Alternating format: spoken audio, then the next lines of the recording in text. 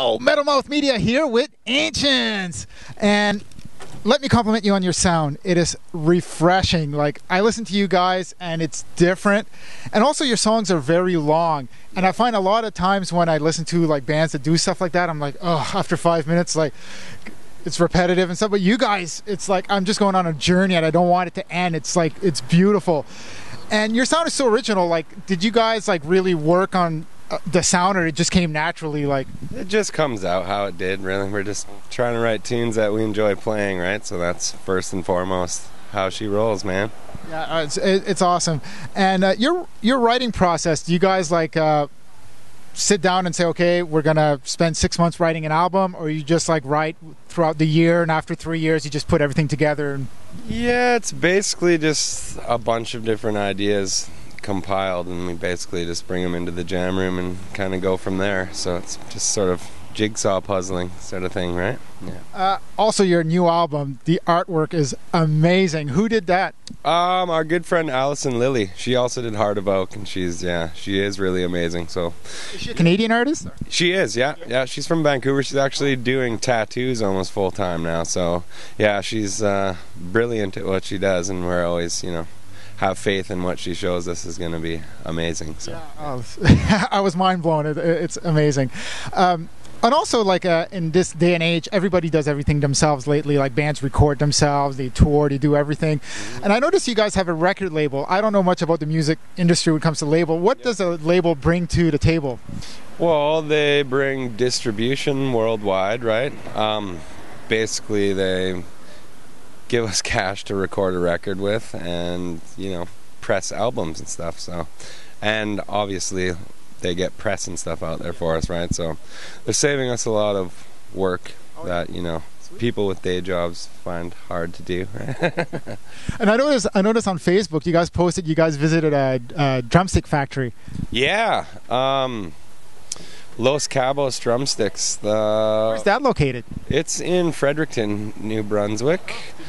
Yeah, it was super cool. We, they just contacted us and asked if we'd like to come check out the shop. Um, super cool place, super cool people, and they gave Mikey some sticks to try out. So you know, you never know, he might be switching switching up to a Canadian company, which is cool. Yeah. Yeah, that's awesome. And speaking of visiting places, you guys travel a lot. Do you guys take time to visit places like in We do cities? we do our best. Um, it all really depends on the time frame or how much everyone partied the night before, right? Um, but basically, yeah, we we try and see as many sites as possible. But you know, sometimes it's not in the cards. Sometimes it is, right?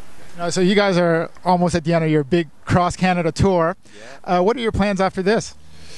Um. Well, I'm probably gonna go sleep for a week. Um, Yeah, well deserved. yeah other than that we're just gonna start focusing on uh, working on some new tunes for our next record um, and basically just planning some things for the spring. Um, try and avoid touring in the winter. If possible if something amazing comes along we'll probably go but you know we're gonna shoot shoot for the spring. Do you guys have any uh, music videos or anything in the works that we should know about or anything?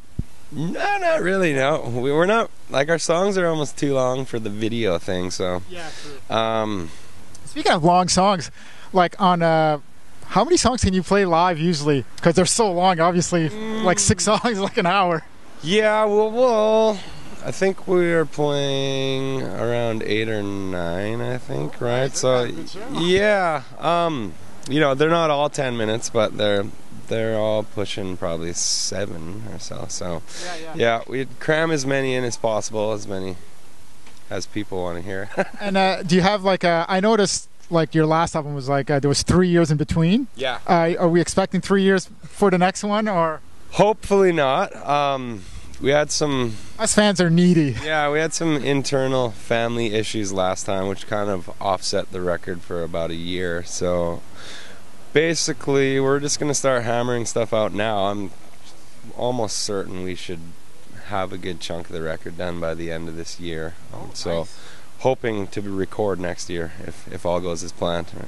And I'm so happy you guys have vinyl because uh, I was born in the early '70s, and when I grew up, there was just vinyls. Yeah. And it was a special time where you could actually sit and enjoy a record Yeah. because you put an iPod in my hand, I find I'm very ADD. I'm skipping all over the place, and I don't get to enjoy the album the way it's supposed to. Totally, yeah. And I love sitting down with the big art and looking Yeah. at everything. And Makes a big difference, right? Yeah. Makes it. so I, I saw the vinyl on the table. I was like, yes. Yeah, man. Um, we can thank the label for that too, right? You guys have different colored vinyl. Uh, yeah, we got a couple different limited vinyls in there tonight, so yeah, yeah, man. Well, thanks a lot for take, taking the time to talk to us, and uh, we'll see, see you later on stage. Sounds This great, is. Metal Mouth Media with Anciients. Yeah.